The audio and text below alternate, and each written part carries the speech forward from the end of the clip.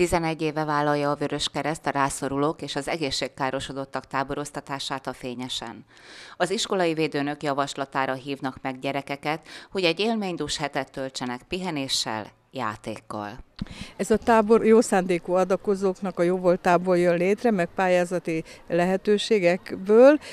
Tatai, főleg tatai gyermekek vannak a táborban, meg egy-két tata környéki kistelepülésről is jönnek gyermekek. A gyermekek nagy része szociálisan hátrányos helyzetű, a másik része pedig egészségkárosodott kisgyermek. Az iskolai védőnök, iskolai segítők kell válogatjuk ki a gyerekeket, sokkal nagyobb lenne az igény, mint ahány kisgyereket el tudunk hozni. Amikor megérkeznek a táborba, akkor átnézzük az egészségügy lapjaikat, és megállapítjuk azt, hogy mennyi az egészségkárosodott, meg mennyi a szociálisan hátrányos helyzetű kisgyerek, kinek van szüksége gyógyszerszedésre, egyebekre, és akkor úgy gondoskodunk róluk. A gyerekek egy hétig vannak itt a táborban, teljes ellátással, napi ötszöri étkezéssel, különböző programokkal, és úgy gondolom, hogy ez maradandó élmény a gyerekeknek. Arra mindenféleképpen figyelünk, hogy minden nap legyen egy kis vöröskeresztes ismeret, hisz végül is vöröskeresztes táborban vannak a gyerekek, hogy valamit vigyenek haza abból, amit itt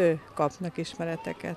A Dámvörös Keresztnek volt egy pályázata, amin sikeresen nyújtottunk be, és is nyertünk egy nagyobb összeget, amivel jelentősen hozzájárulhattunk a tábornak a működéséhez. Számtalan szponzor közreműködése adott, a kis vonattól elkezdve a hajóig, ezekben a percekben éppen korongoznak, de ugyanúgy kimennek egy farmra lovagolni, elmennek egy kalandparkba, igazából se szerint se szám a programoknak.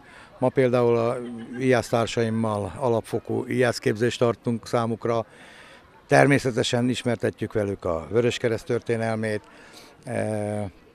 a megyei főkapitányságról, rendőrfőkapitányságról előadót hívtunk közlekedésbiztonsági ismertekről, nyilván a kerékpárhasználat, hirtelen számát se tudom. Eredetileg 45 fővel tudtuk volna elindítani a tábort, több-kevesebb problémával szembesülve pillanatnyilag 53 fős a létszámunk.